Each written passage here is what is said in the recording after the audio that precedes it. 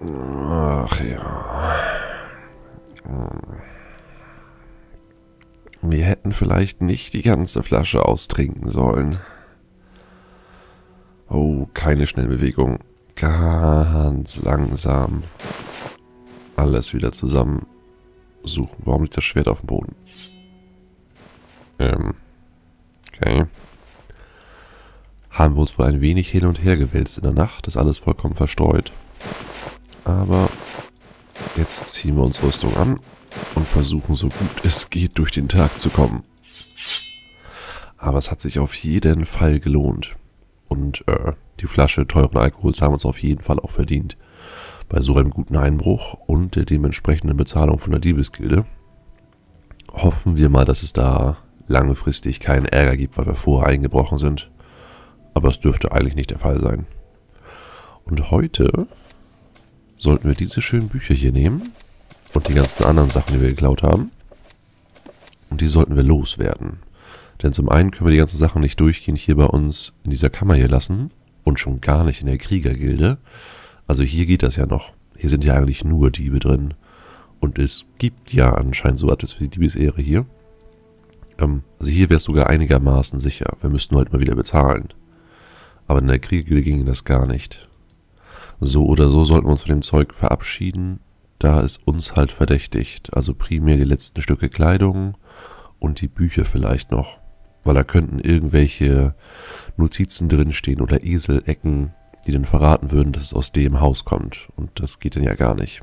Also schnüren wir die Bücher wieder zusammen, machen eine schöne Rolle aus den Kleidungsstücken, verstauen alles und machen uns dann auf den Weg nach Suran. Denn hier haben wir die Händler ja anscheinend schon ausgereizt. Die eine Dame, die fürs Brachiale... Oh, oh ist das hell. Ähm, die eine Dame, die fürs Brachiale zuständig war, die wollte unsere Bücher und Kleidung ja gar nicht kaufen. Obwohl doch, die Kleidung hat sie gekauft. Hm. Da gab es doch noch einen Händler. Aber nee, der wird bestimmt nicht alles kaufen wollen.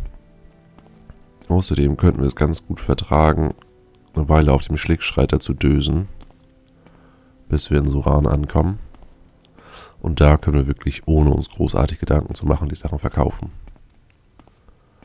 Und wir gehen in die falsche Richtung. Äh, böse Sonne, böse Sonne. Wir müssen hier lang. Erstmal auf die andere Seite vom Odai.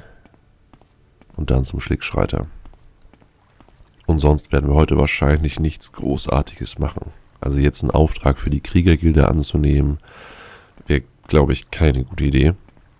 Für die Diebesgilde mh, hm, könnten wir anfangen, ein mögliches Ziel auszuspionieren. Aber wir wissen ja nicht, was die so mit uns vorhaben. Allgemein könnten wir uns ein wenig mal umhören nach anderen Diebesgilden. Es soll ja in jeder größeren Stadt eine geben. Also, wo wir gerade in Suran sind, hören wir uns doch da mal um. So, wir würden gerne nach Suran und wir würden gerne zugedeckt werden. Für 19 Draken müsste das inklusive sein. Oh, und wir sollten nicht wieder hier runter stolpern. Genau. Das ist echt gefährlich. Was, wenn ihr irgendwelche betrunkenen Gäste habt? Die laufen noch die Plattform runter und machen gleich plopp. Hm. Na gut. Also Diebesgilde in Suran. Es gab dieses Haus der... Wie hieß das genau? Haus der irdischen Freuden. Hier könnten sich doch Diebe zusammenrotten. Eine Ausstatterin. Gab es noch eine richtige Taverne? Da ist ein Schmied. Pfandleier. Na, wir gehen doch erstmal zum Pfandleier und danach gucken wir uns weiter nach der Taverne um. Und da ist er ja schon. No. Ebenerzarmschiene. Das ist doch mal schick. Ebenerzwurfpfeile. Vulkanglasdolch. Och, ja, doch. Sehr schicke Sachen hast du hier. Und keine Wache, hm? Hallo. Wir hätten da ein, zwei Kleidungsstücke. Mm, und ein paar Bücher, die er nicht haben will. Schade. Was ist mit diesen komischen Federn, die wir bei dem Kerl in der Truhe gefunden haben? Die Blüte kann auch noch weg. Häckselblatt. Und Pückelsalz. Hm, kauft er wohl alles an. Sehr schön. Dann soll das erstmal reichen. Obwohl den Alkohol können wir auch noch loswerden. Diesen billigen Fusel wollen wir uns nicht antun. Und 166 Draken. Boah. Boah. Ist okay. Ja, Heiltränke. Aber die sind ranzig. Wenn man einmal dran schnuppert, merkt man das schnell. Nee, das soll so reichen. Wir hätten gerne zwei Draken mehr. Ein Draken mehr. Mhm. Und kannst du uns noch etwas sagen? Ein kurzer Ratschlag vielleicht. Kämpft nicht, wenn ihr erschöpft seid. Ja, das ist ein guter Ratschlag. Hm. Über Suran vielleicht? Suran ist eine geschäftige Handelsstadt am Masobi-See, von der aus man die Seen, Höfe und Plantagen der Askadia-Inseln erreicht. Mhm, mhm, mhm. Nee. Dann schauen wir uns jetzt mal weiter um nach einer Taverne. Und sonst gehen wir in das Haus der irdischen Freuden oder wie das hieß. Ha, da war der beeindruckende Ork. Oder Orkin. Bist du eine Frau? Ja, hört sich fast so an. Also, dass er eine Frau ist. Hier hätten wir noch ein, eine Schneiderin. Alchemisten gab es hier leider nicht, wenn wir es richtig gesehen hatten beim letzten Mal. Händler. Ah, hier waren wir schon. Hm? Ja, hier waren wir schon. Hier sind, die, hier sind wir die Diamanten losgeworden. Kaufst du vielleicht die Bücher? Oh ja, sehr schön. Die werden wir dann alle los. 115 Draken. Was wirklich Interessantes für uns hat er nicht. Legt noch einen Draken drauf. Sehr gut. Kannst du uns noch was über Susan sagen? Nein, nichts wirklich Neues. Na gut. Dann gehen wir mal raus. Merken, wie uns der Magen knurrt. Ähm, okay. Dann setzen wir uns mal hier auf den Stein. Essen unser letztes, schon ziemlich hartes Brot. Dazu noch etwas kalten Salzreis. Hm, und den Skattel sollten wir auch essen, bevor er schlecht wird. So, das tut doch gut. Mehr oder minder. Und das Brot, was jetzt noch in der Kriegergilde jetzt vor sich hingammelt, sollten wir möglichst schnell wegwerfen, wenn wir da ankommen.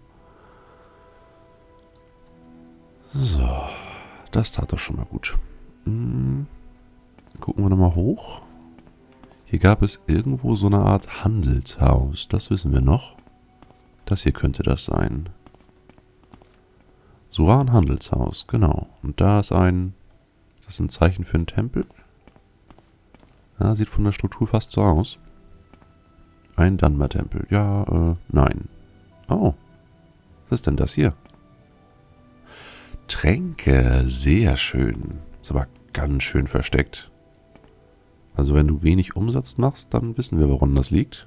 Solltest dein Schild mal lieber hier hinhängen. Oh ja, das sieht gut aus. Jetzt hat bitte, bitte gute Heiltränke für uns. Ah, billige Ware, billige Ware. Verfeinerte Krankheitsresistenz. Nein, auch er hat keine guten Heiltränke für uns. Oder auch nur einigermaßen akzeptable Heiltränke. Einfacher Lebenstrank. Einfacher Genesungstrank.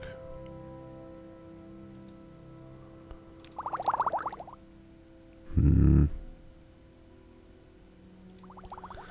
Nee, nee, nee, nee, nee, nee. Das lassen wir mal. Wenn, dann wollen wir gleich was Richtiges haben. Denn die werden wir ja eh nicht im Kampf einsetzen können. Die sind ja primär dazu da, später die Wunden zu versorgen. Und da sollte es dann schon was Gutes sein. Aber schön zu wissen, dass es hier einen Alchemisten gibt. Hm. 1080 Draken. Das wird langsam ganz schön schwer. Wir sollten vielleicht etwas davon in Training investieren. Aber das machen wir, wenn wir zurück in Balmora sind. In der Diebesgilde erklärt sich bestimmt jemand bereit, uns zu trainieren. Oder sonst halt wieder bei den Kriegern. Da waren unten ja auch noch zwei Trainer. Aber gucken wir erstmal in das Handelshaus. Und fragen hier dezent nach der Diebesgilde. Schon in Ordnung, Markus Sytikus, danke. Ihr könnt mich Jamie nennen. Ist dies euer erster Besuch in Suran? Ähm, nein, eigentlich nicht. Hier kommen viele Pilger vorbei, da die Geburtsstätte von Molak Bal in der Nähe liegt. Und auch die Felder von Kumu hier sind ein beliebtes Ziel für die Pilgerreise. Aha. Was ist denn dein Beruf? Ich bin ein Kreuzritter. Kreuzritter waren einst Krieger eines Kultes doch heute nennt sich jeder Krieger mit einem Anlegen so. Hm. Ja, nicht wirklich das, was wir gesucht haben. Er wird uns dann wohl eher nicht sagen können, ob es hier eine Diebesgilde gibt oder nicht. Ihr dürft sprechen. Was ist mit dir? Was wollt ihr, Fremdländer? Hm, das ist schon mal keine gute Ausgangslage. Können wir dich vielleicht ein wenig überzeugen? Ich verstehe das als Kompliment. Ja, das war auch fast so gemeint. Was ist denn dein Beruf? Ich gehöre zum gemeinen Volk. Hm. Okay. Und kannst du uns ein Gerücht erzählen? Wieder das Gerücht über die Insel Solstheim? Nein, vielleicht ein kleines Geheimnis? Kush-Tashpi ist der Name der alten dietrischen Gewölbe westlich vom Ahemusa-Lager. Was ist denn das Ahemusa-Lager? Niemand geht dorthin. Es ist ein weitläufiger, dunkler Ort. Hm. Also wenn er jetzt sagen würde, das ist westlich von Suan, dann hätten wir ja mal nachgeschaut. Aber was ist denn das Ahemusa-Lager? Hm. Also er meint, das gehört zu den Aschländern. Und äh, in deren Gebiet waren wir ja noch gar nicht. Aber gut. Er hat zwar auch nichts über die Diebesgilde. Vielleicht gibt es hier auch einfach keine. Fragen wir doch mal die Barkeeperin. Wenn jemand von weiß, was weiß dann die? Hm. Erzähl uns doch mal etwas über deinen Beruf. Ich bin Händler. Ja, das ist richtig. Und über Suran? Nein, nichts Neues. Schade. Gerüchte? Nur wieder Solstheim. Nein, nein, hier werden wir nicht fündig. Das heißt, wir gehen jetzt mal zu der roten Laterne und gucken, was wir in dem Haus so finden können. Unter Sonne und Himmelszelt. Hm. Du siehst wie ein Jäger aus. Mir geht es gut, danke. Was kann ich für euch tun? Anscheinend nicht sehr viel. Also, rote Laterne, Haus der irdischen Gelüste? Freuden? Freuden müsste es gewesen sein. Langsam unser Kopf auch wieder klarer geworden, das ist schon mal gut. Es scheint recht warm zu sein. Haus der irdischen Freuden, genau.